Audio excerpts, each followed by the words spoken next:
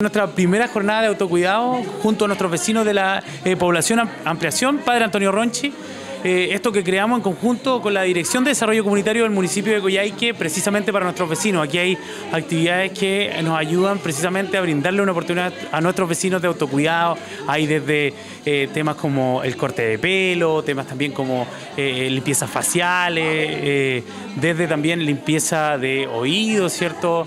Y así sucesivamente para que ellos puedan disfrutar. Estamos en un tiempo en donde brindamos oportunidades, sobre todo para mejorar nuestra eh, comunidad, ¿cierto?, para brindarle apoyo a nuestros vecinos y sobre todo eh, la salud mental que había sido tan afectada en pandemia y hoy día estamos realizando estas actividades. Invitar también a nuestros vecinos a que puedan eh, seguir acompañando y que puedan seguir participando de esta jornada de autocuidado. Son todos los días jueves, en las tardes, y lo desarrolla la Dirección de Desarrollo Comunitario en cada una de las juntas de vecinos también de nuestra hermosa comuna. Aparte de estar súper contenta por la cantidad de gente que, que tenemos acá, genial ser los primeros, mucho mejor. Eh, nosotros hace mucho tiempo que estábamos pidiendo que la municipalidad justamente se nos acerque acá a la Junta de Vecinos para este tipo de cosas, en donde se vean involucrados tanto los vecinos como los entes municipales en este caso.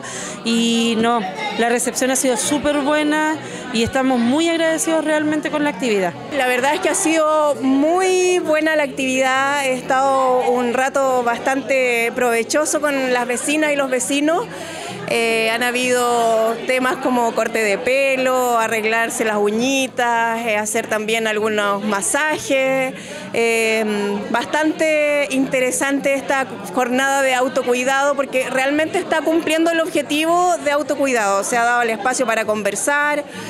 para quererse un poquito también, que es, un poco el objetivo de esta actividad y lo bueno es que ha tenido una buena respuesta de los vecinos y las vecinas y también se va a repetir en otros lugares. Una felicitación al equipo también que está haciendo todo esto con funcionarios municipales. Vamos a estar haciendo esta actividad, como les digo, todo enero, todo febrero, los jueves de cada semana, desde las 7 de la tarde en adelante, en distintos sectores de la comuna, de la parte urbana, de la parte rural, así que para que la gente también los aprovechamos de invitar del sector donde corresponda, que vayan al lugar, normalmente va a ser en sedes, puede ser en espacio abierto igual, pero lo más importante es estar atentos a las redes sociales del municipio y del alcalde Carlos Gatica, ya que ahí semana a semana vamos a estar avisando en qué lugar vamos a estar.